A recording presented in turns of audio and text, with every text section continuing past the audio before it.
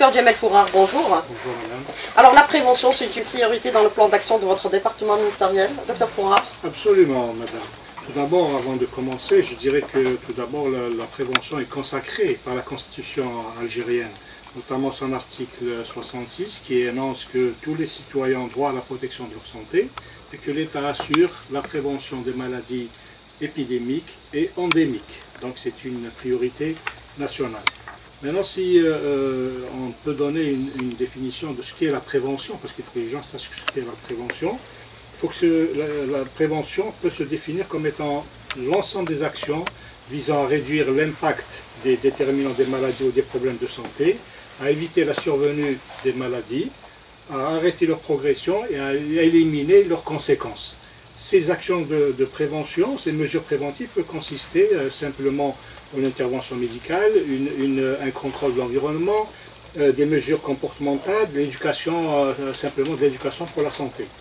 Et donc il faut savoir qu'au travers de la définition de la santé de l'OMS, que s'est dessinée une nouvelle conception de la prévention.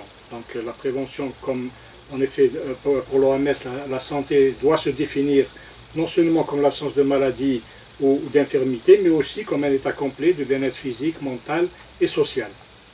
Ce qui fait qu'en considérant plus précisément euh, l'ensemble des, actions euh, de, prévention, l'OMS distingue trois types de prévention, primaire, secondaire, tertiaire, qui en fait euh, correspondent aux étapes de la maladie.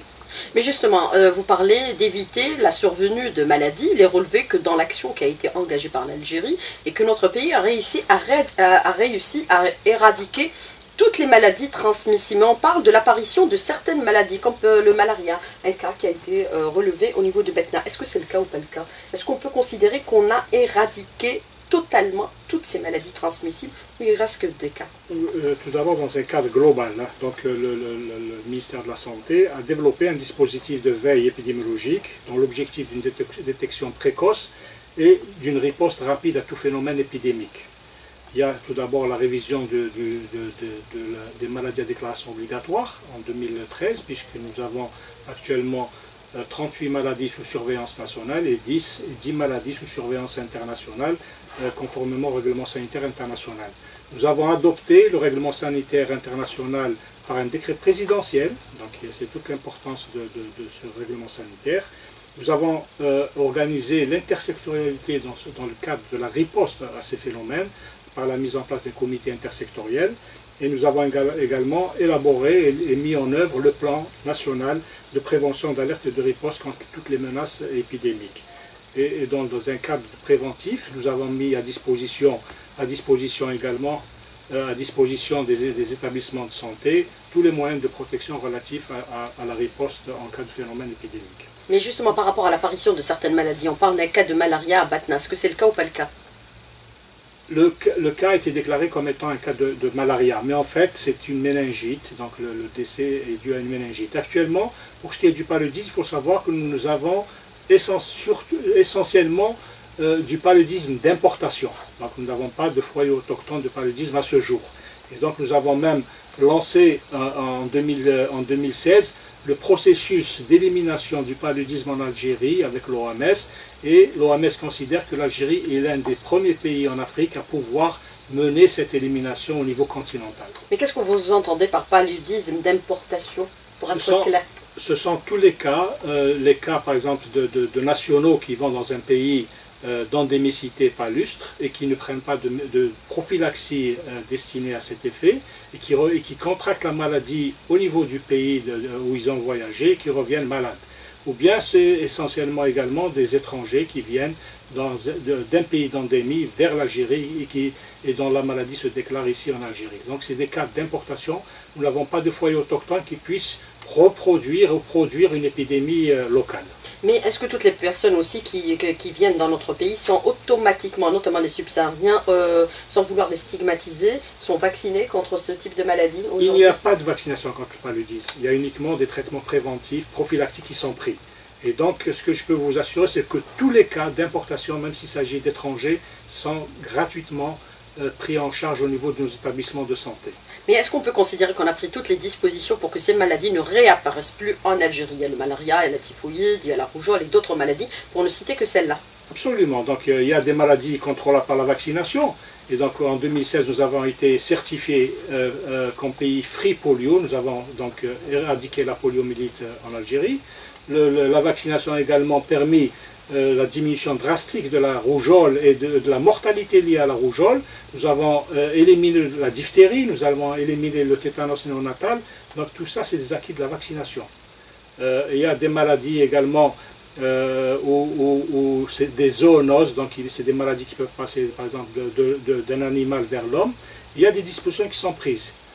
également pour les maladies de transmission vectorielle, dans le, paludisme, tous les vecteurs nous allons parler de, moustique tigre, il, y a, il faut savoir qu'il y a un comité qui est chargé, de, euh, en tout cas pour les maladies vectorielles, qui est chargé de suivre l'évolution de la situation au niveau mondial, et à chaque fois, il estime le, risque en Algérie, et donc il y a des actions qui sont prises euh, en charge dans ce domaine. Il faut savoir qu'il y a des dispositifs euh, spécifiques que nous mettons en place conformément à la situation mondiale. Nous avons mis en place un dispositif spécifique pour le coronavirus quand il y avait le coronavirus, euh, contre le, Zika quand il y avait le Zika. Nous avons mis un dispositif de prévention euh, contre l'Ebola, etc. Donc nous nous adaptons à la situation mondiale en adaptant un système de surveillance nationale et de riposte immédiate à toute, à toute maladie émergente ou réémergente. Alors la vaccination en Algérie est, gratuite. Son coût, c'est l'équivalent de 10 milliards de dinars qui sont dépensés par le secteur de la santé et les pouvoirs euh, publics. Le carnet vaccinal, il a été élargi depuis l'année dernière, mais certains considèrent que certaines maladies ne nécessitent plus de la vaccination. Quel est votre commentaire? Oh, Certains pays ne recourent pas à autant de vaccins que chez nous. Euh, la vaccination euh, dans le monde hein, est, une action, est une action préventive euh, euh, qui a le, meilleur coût-efficacité. Donc c'est grâce à la vaccination que des milliers d'enfants ne, décèdent pas chaque année dans le monde. Et euh, en Algérie, les résultats sont là. Je vous ai dit, pas de polio, éradication de la polio, pas de diphtérie, pas de tétanos natale, pas de rougeole, pas de décès par rougeole. Donc les, faits sont là, les, résultats sont là. L'Algérie a été parmi les premiers pays dans le monde à, avoir un calendrier de vaccination obligatoire. Et maintenant, euh, les événements actuels, actuels au niveau de certains pays européens, ils ont amené à adopter la même stratégie que nous des dizaines d'années après. La donc France, la France a rendu obligatoire 11 euh, vaccins. Euh, en Italie également, il y a eu un décès par rougeole, donc ça fait la polémique et donc la vaccination va être obligatoire. Donc l'Algérie a quand même une certaine expérience dans ce domaine et les acquis sont là pour prouver. Mais en fait, c'est aussi euh, un domaine où les acquis peuvent être perturbés. Donc il suffit d'une fausse information, etc., pour que les acquis euh, puissent être euh, un peu dérangés au niveau de la, vaccination. Mais c'est un domaine qui est qui est rentable du point de vue de la santé publique. Le carnet vaccinal a été élargi à d'autres maladies. Est-ce que cela veut dire que quelque part nous restons toujours un pays exposé? Non, le, calendrier de vaccination évolue en fonction de deux paramètres essentiels. La situation épidémiologique qui prévaut dans le monde et en Algérie, également l'apparition de nouveaux vaccins qui sont à même d'apporter un plus sur le plan de l'immunité de l'enfant. Donc l'Algérie fait tout, euh, prend en, compte tous ces paramètres pour offrir les meilleurs vaccins à, leurs enfants. Et euh, cela va permettre de diminuer la mortalité, infantile hein, d'une manière générale. Combien d'enfants sont vaccinés annuellement, puisque nous savons que l'enveloppe, elle n'est pas moins de 10 milliards de dinars Les taux de couverture pour tous les antigènes dépassent largement les 95% au niveau de tous les groupes d'âge. Donc nous avons une bonne couverture vaccinale, mais il faut maintenir cette couverture vaccinale pour éviter l'apparition ou la réémergence de certaines maladies euh, euh, auxquelles nous avons donc euh, mis fin ces jours-ci. Alors, la grippe contre la, vaccin contre la grippe plutôt, euh, nous sommes en pleine saison aujourd'hui. Pourquoi ne pas le rendre obligatoire pour toutes les personnes vulnérables? Puisque actuellement, nous apportons l'équivalent de 2 millions de flacons. Et ce n'est pas suffisant pour l'ensemble, pour couvrir l'ensemble des Algériens. Il n'y a aucun pays qui couvre, euh, en termes de vaccination anti pas toute sa population. Ce n'est pas possible. Euh, donc l'Algérie a adopté la, vaccination des populations cibles à risque. C'est les personnes âgées de 65 ans et plus, les enfants et les adultes présentant une maladie chronique, il y a les femmes enceintes également, qui sont une, priorité euh, pour nous. Ça, c'est donc les populations aussi qui bénéficient de cette vaccination gratuitement. Le vaccin est également mis en officine et où les personnes qui sont donc euh, intéressées par cette vaccination qui est recommandée peuvent se faire vacciner. Le vaccin est, remboursé pour les, personnes âgées et les malades chroniques. mais ce n'est pas possible de couvrir toute une population par la vaccination anti-grippe. Mais s'il y a une épidémie de grippe, par exemple, qui pourrait être dangereuse pour la population, alors que vous avez 2,5 millions et demi de personnes qui peuvent se couvrir contre ce virus euh, Là, c'est une stratégie à part. Hein, mais dans la, dans, dans la routine, il n'est pas, pas conseillé de vacciner toute la population, mais de uniquement de cibler sur ces populations qui peuvent avoir des complications et qui peuvent amener vers le décès. Mais certains disent que euh, vous ne ciblez pas justement parce que ça a un coût. Est-ce que c'est le cas? Pas du Est-ce que la santé a un coût aujourd'hui? Elle a un coût, mais euh, c'est, les actions de prévention sont des actions euh, préventives gratuites. C'est ça qui fait l'essence en, en, fait du système national de santé, c'est la gratuité pour la prévention. Alors, euh, docteur Djemel Foura, moi je voudrais aborder aussi avec vous un autre aspect euh, par rapport justement à ce moustique tigre. On en parle beaucoup ces derniers temps. Est-ce que c'est réellement un danger? Bien sûr, donc euh, il faut savoir que ce, moustique... On tous les moustiques maintenant. Ce moustique, tigre. ce moustique tigre, on l'appelle tigre pourquoi? Parce qu'il il a le, corps et les pattes rayées, donc il ressemble à un tigre. Mais en fait c'est un moustique... Est-ce qu'on a le temps de le voir? qui, il est très petit, il est tellement petit, il ne fait pas de bruit, donc euh, il attaque, il attaque le, matin, le matin, pendant la journée. Et les chevilles surtout. Il, a une, une, prédilection pour les chevilles, effectivement. Mais il faut savoir que ce moustique a colonisé les cinq continents. C'est un moustique qui a très bien voyagé compte tenu de la globalisation, de l'internationalisation des, déplacements, le commerce, etc. Il a voyagé les premiers temps au niveau des pneus rechappés qui étaient un peu euh, vendus en Europe. Et c'est par cette euh, technique qu'il s'est approprié pratiquement les cinq continents. les premières constatations en Algérie ont commencé donc en 2010 où, il faut savoir qu'il y a une surveillance entomologique qui se fait de manière continue. Nous avons détecté ce moustique en 2010 en, Grande Kabylie. Un seul moustique qui a été retrouvé à cette période. Ensuite, en 2014, nous avons eu euh, des désagréments qui ont été signalés des désagréments signalés par, par la population euh, au niveau de l'Oranie, essentiellement au niveau de Ain Tork, où il y a eu une réponse rapide, une réponse rapide, une opération de désinsectisation a été faite et le problème a été euh, donc maîtrisé. Ensuite, ces, euh, derniers temps, au niveau de la capitale, essentiellement au niveau de certains quartiers, Najab, El Khadem, Saoula, Kouba, Usende, où les gens se sont plaints de ce désagrément de ce moustique. Mais est-ce qu'il est en train de se propager très vite? Il, se propage dans le monde et même en Algérie. Donc il, faut savoir qu'il y a une surveillance. Chez nous, il y a une surveillance, il faut savoir qu'il y a euh, un comité chargé des arboviroses, donc chargé de la surveillance de tous les vecteurs euh, euh, qui peuvent transmettre la maladie. Et, et, ce comité évalue à chaque fois, fait un point de situation, évalue le risque au niveau algérien également s'il y a des, des, problèmes dans ce sens. Alors, euh, docteur Jamel Foura, moi je voudrais revenir un peu sur le moustique tigre. Pourquoi la prolifération de ce moustique se fait aussi rapidement? Au départ, on parlait d'une localité qui était le plus concernée, c'était du côté de Tizi Ouzou. Maintenant, ça se propage à Alger, on parle d'Oran, et on parle aussi de Constantine et d'autres localités. Il faut savoir aussi que euh, ce moustique profite un peu de, la présence de gîtes propices euh, dans ce qu'on appelle les gîtes larvaires et donc il peut pondre ses œufs dans, devant, dans une petite plaque, flaque d'eau. Et donc il y, a, aussi le rôle du citoyen dans, dans le cadre de l'élimination de ces gîtes larvaires. Nous avons par exemple au niveau de la Les services d'hygiène aussi au niveau local. Non, même, même individuellement, les, personnes au niveau de leurs habitations, nous avons donc euh, fait le, le, constat qu'au niveau par exemple de Ain Najad, Berkhadem et d'autres euh, localités de la Ouled d'Alger, que les, jardins ne sont pas euh, maintenus euh, correctement. Il y a des réceptions d'eau qui sont remplies, remplies sans couvercle, il y a des, flaques d'eau au niveau des, jardins, etc. Tout cela favorise la propagation de, de ce moustique parce qu'il pond ses œufs dans ces flaques d'eau, il y a un cycle larvaire qui se fait, a ensuite, euh, ça passe de larve à nymphe et, euh, au moustique adulte. Donc il y a la responsabilité également, le citoyen doit jouer son rôle dans l'élimination des gîtes larvaires, entretenir son jardin, parce que, ce moustique, une fois qu'il a colonisé votre jardin, ça va être vraiment difficile de le délocaliser. Donc il y a tous les pots de fleurs avec les soucoupes d'eau, euh, les gouttes d'eau, etc. Donc il y a pas mal de, de, probabilité pour que le, moustique prolifère s'il trouve les conditions propices à, à, sa reproduction. Mais quelles sont les conséquences sur la santé du citoyen? Actuellement, il n'y a pas de conséquences, c'est des, des, des, agréments, donc c'est vrai que c'est des démangeaisons qui sont, euh, qui sont vraiment un peu euh, atroces et qui donnent des réactions allergiques parfois importantes.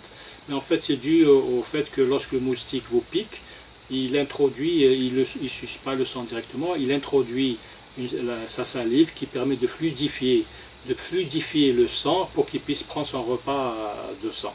Donc c'est cette salive qui fait que ça entraîne des réactions un peu allergiques par rapport à d'autres moustiques que nous avons l'habitude d'avoir. Donc c'est un moustique nouveau, donc c'est une piqûre nouvelle et ça donne des désagréments, mais il n'y a aucun risque actuellement. C'est vrai qu'on parle de transmission euh, par ce virus de certaines maladies comme la dengue, le chikungunya et un degré moindre le Zika.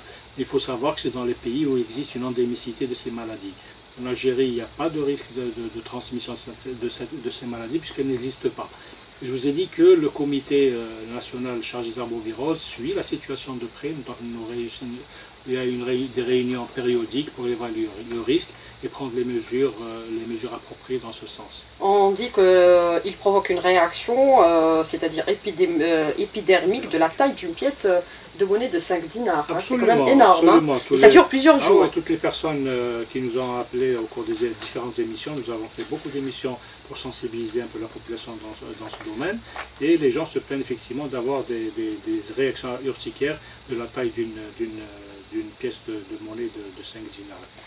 Actuellement, on parle de 5 ou 6 wilayas qui sont concernés. C'est le cas ou pas le cas depuis l'apparition du non, non, non, non, il n'y a pas eu de, il n'y a pas eu d'alerte, il n'y a pas eu d'alerte. Euh, voilà, c'est tout. Donc 2014 à Oran et 2016 euh, et 2017 euh, au niveau de certaines communes de, de la wilaya d'Alger.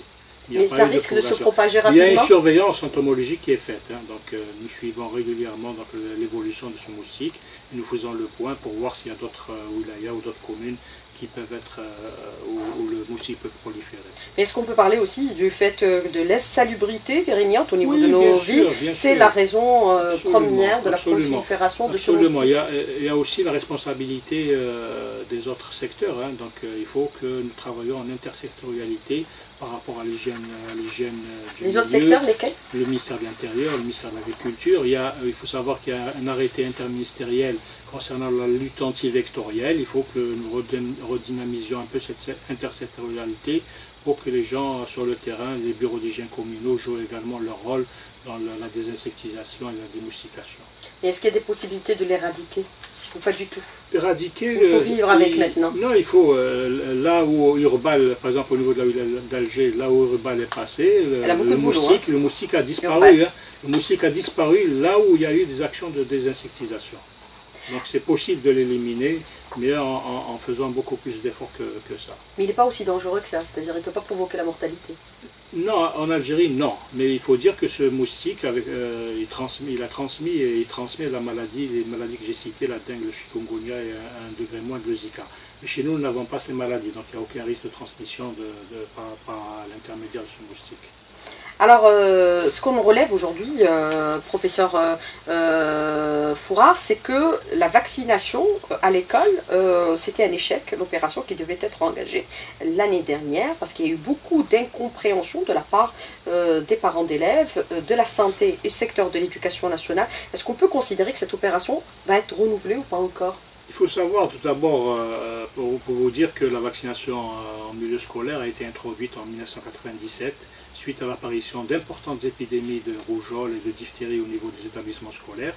Et donc depuis 1997, nous avons renforcé le calendrier de vaccination en introduisant, en des rappels au milieu scolaire. C'est vrai qu'il euh, y a un programme de vaccination de routine qui se fait le plus normalement possible depuis 1997. Et il y a des campagnes qui sont organisées également dans un cadre spécifique. Nous avons organisé en, 2003 la vaccination de près de 10 millions d'enfants contre la rougeole. Et nous avons donc voulu également en, mars 2017 organiser, euh, euh, mars 2016, organiser la vaccination contre euh, la rougeole et la rubéole. Il faut savoir que ce pas des actions, c'est des actions, pas des actions isolées. Ça rentre dans le cadre d'une stratégie mondiale d'élimination de la rougeole et de la rubéole. Donc l'Algérie donc, a, donc a fait cette, cette campagne. C'est vrai qu'elle a été un peu chahutée, mais néanmoins nous avons quand même vacciné un million et demi d'enfants sans le moindre problème. Donc euh, effectivement, euh, pour assurer la protection de nos enfants en milieu spécifique et, également euh, rentrer dans la stratégie mondiale d'élimination de la rougeole et de la rubéole, nous allons continuer à, offrir cette vaccination à nos enfants de manière à les protéger quand c'est de maladies graves, également protéger nos, futures euh, mamans, donc les, filles, contre le syndrome de, la rubéole congénitale qui, entraîne des, des embryopathies très importantes et des, malformations congénitales. Alors des questions des auditeurs, le carnet vaccinal a été élargi à combien de maladies pratiquement aujourd'hui, docteur Fourard? Ben, Vous avez tout d'abord le, BCG, le BCG qui, qui, qui, assure une protection contre la tuberculose miliaire. Voilà, donc vous avez la diphtérie, le tétanos, la coqueluche, l'hémophilus, l'hépatite B et le pneumocoque. Alors justement par rapport au pneumocoque, pourquoi ne pas autoriser l'antipneumocoque au niveau des officines car il est vital chez c'est une catégorie de patients. Pourquoi ne pas permettre sa vente libre? Euh, tous les vaccins, tous les vaccins euh, existent dans le, secteur, euh, dans le secteur public et privé. Il y a des, privés qui font la vaccination, la vaccination au niveau de leurs établissements. Donc c'est permis. c'est vrai que la vaccination est, une chose importante donc, donc qui se fait au niveau des établissements de santé, également au niveau des établissements privés. Donc il n'y a pas de, vraiment de différence entre alors, euh, en situation de crise financière, est-ce qu'il euh, est possible de remettre en cause, bien sûr, ce programme de vaccination en Algérie ou alors il est considéré comme étant prioritaire? Absolument, absolument. C'est une priorité du gouvernement. Hein, donc, euh, la vaccination, le PEV, le, programme élargi de vaccination, restera toujours une priorité. Et l'objectif, c'est d'offrir les meilleurs vaccins pour nos enfants. Alors la place de la prévention justement dans la loi sanitaire qui n'est toujours pas adopté et qui est au niveau du Parlement. Absolument. Il faut savoir, Il faut savoir, j'ai dit tout à l'heure que la prévention euh, euh, a été énoncée dans la Constitution nationale, également dans la nouvelle loi sanitaire, puisque la prévention, les chapitres réservés à la, prévention sont de l'ordre d'un un, quart de l'ensemble des articles de la présente loi. Alors, euh, pourquoi vous faites euh, recours, question d'un auditeur, au vaccin Made in India, le cas de pentavalent, alors que des laboratoires de renom dans le vaccin ont soumissionné sans suite hein? Non, il faut savoir que le ministère de la Santé évalue les besoins annuels en matière de, de, vaccins. Il y a des procédures conformément euh, aux, procédures reconnues donc, concernant les marchés. Donc il y a il y a un cahier de charge qui est établi et un appel d'offres euh, international qui est fait. Et donc il y a une commission d'ouverture des plis et une commission de, choix qui, euh, choisissent les, les, laboratoires et les vaccins euh, qu'il faut. Alors par rapport à cette question de rationalisation de la dépense, est-ce qu'on va au moins 10 ans? Ou alors, euh, c'est-à-dire en termes clairs que la santé se fait au détriment, bien sûr. Pas du tout. C'est dans le respect. La rationalisation se fait plutôt au, détriment, au dépens de la santé publique. Pas du tout. C'est un choix par rapport au, mode, de, mode de passation des, des marchés. Donc c'est des règles, donc on ne peut pas changer. Alors, n'est-il pas grave qu'il y ait recrudescence de la tuberculose, qui est une maladie de précarité? C'est vrai qu'il y a des réapparitions de la tuberculose. Pas du tout, pas du tout. En Algérie, le programme de lutte contre la tuberculose a fait d'énormes progrès. Nous sommes actuellement en, phase d'inversion de, la courbe de la tuberculose, puisque la nous avons de moins en moins de, cas de tuberculose à microscopie positive, c'est-à-dire la, tuberculose contagieuse. Donc nous, sommes, nous avons inversé la tendance actuellement. Alors, euh, une question d'une auditrice euh, qui vous concerne, docteur Foura, mais qui pourrait être un peu plus large, c'est-à-dire élargie à tout votre secteur. Euh, quelles sont les réformes apportées dans le secteur hospitalier? Parce que depuis plus de 20 ans, on constate la dégradation de l'état de santé dans nos hôpitaux. On voit des patients ou des personnes qui filment aujourd'hui avec des smartphones plusieurs dépassements et comportements de médecins ou infirmiers envers les patients du tout. Il faut savoir que le citoyen également a un rôle à jouer dans l'amélioration de la qualité de l'accueil et de la qualité des prestations. Il faut savoir qu'il euh, faut qu'on arrive à une, hiérarchisation des soins. Il faut que le, citoyen algérien ait son médecin référent, son médecin généraliste de famille, qui puisse le conseiller et, l'aider à aller euh, dans la qualité des soins c'est ce médecin référent qui en fait va, orienter le patient vers d'autres soins plus, plus, plus, importants. Et là, nous assistons en fait à, une absence de hiérarchisation. Euh, les gens veulent directement passer au, niveau 3 alors qu'ils devraient normalement se référer à leur médecin généraliste, leur médecin, de famille, avant d'accéder à des soins beaucoup plus euh, de, haut niveau. Mais c'est vrai que dans la structure un peu de votre secteur, euh, de votre département ministériel, on parle de la réforme hospitalière. Pourquoi on parle de la réforme hospitalière? Parce qu'elle n'est pas encore totalement engagée.